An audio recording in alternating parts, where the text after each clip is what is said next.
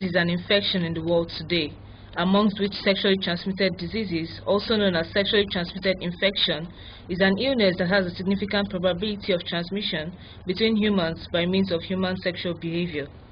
STDs which can also be transmitted through blood transfusion, IV drug needles, after it's been used by an infected person, through childbirth or breastfeeding. But how well do people know about STDs? Uh, some of the diseases contacted through sexual intercourse.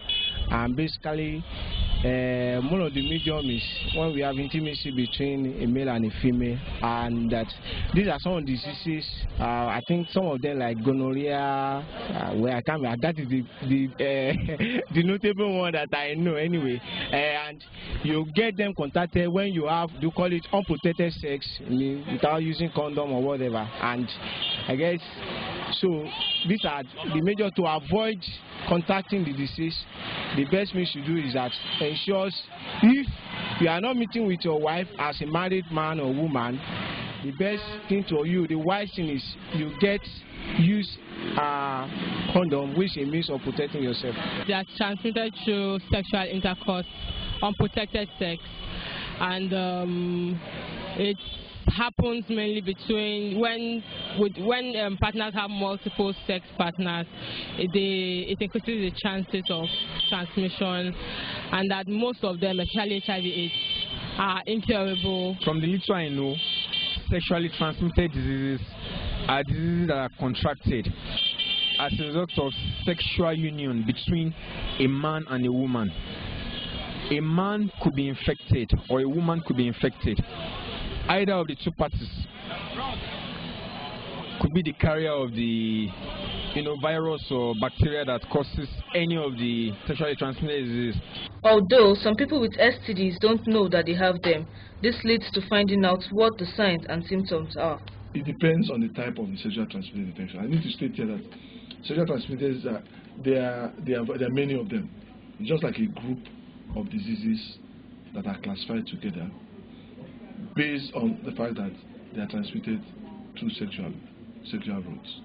For example, Neisseria gonorrhea.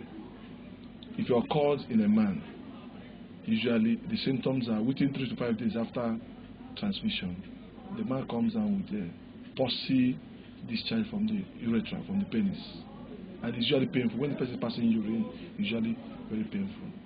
In a woman also can also cause discharge and pain. But because in a woman, because the I'm sorry to use the words, but I have to use them. The vagina is wider. The so the pain is less. The symptoms are more hidden, but they are there, and that's why usually the damage is more in the woman, because the man within three to five days, the symptoms will appear. The man while passing urine, you have pain. The man has a discharge, and the man quickly runs to the hospital and get it treated, so that the damage is curtailed and um, complications are less. But in a woman, because um, because of the larger surface area of the vagina and, um, and genital organs, the infection will be there, just smoldering, will not cause an obvious symptoms. The woman might not know, and they are causing damages. Things like syphilis will come with something like uh, wounds on the genital organs. The STIs like uh, HIV will not even have any symptom at all until two to until even close to five years when the person comes down with what we call opportunity illnesses, person might be coughing, person might be having rashes, person might be um, even diarrhea. Then for things like um, chlamydia, person might just have a discharge from genital organ that is usually very clear. Things like um, hepatitis will not even come with any symptom until the person is completely down. Person might just come with um, yellowness of the eyes. So it actually depends on the cause of the sexual transmitted infections. In our environment, some of the common STDs are gonorrhea, syphilis, chlamydia, hepatitis B, and HIV, amongst others. STDs, which can be more than an embarrassment, could also constitute serious health problems. It can lead to uh, other sexual um, other health problems. The example is for in a woman, if it's not treated properly, it could lead to tubal blockage, infertility. Even if it's um, HIV infections, it could lead to death. Most of them, if it's not treated properly, could lead to death. Can even for a pregnant woman, if the uh, pregnant woman has HIV or hepatitis B or even um, syphilis, the child can be transmitted to the child. So, and some of them can lead to low birth weight babies. Baby could be born congenitally abnormal. The baby could even die while in utero. So, apart from the infections they present, they also cause other consequences. Despite the health challenges faced with STDs, it is curable and can be treated if detected on time.